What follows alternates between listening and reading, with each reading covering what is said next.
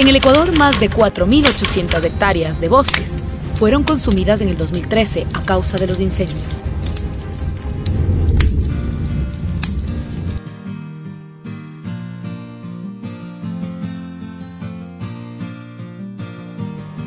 Se viene un nuevo verano y en esta época el mayor problema son los incendios forestales. Por eso te pido que si visitas nuestros bosques, selvas y montañas, que son nuestro mejor patrimonio, los cuides y los defiendas de gente inescrupulosa. No arrojes basura ni inicies fogatas.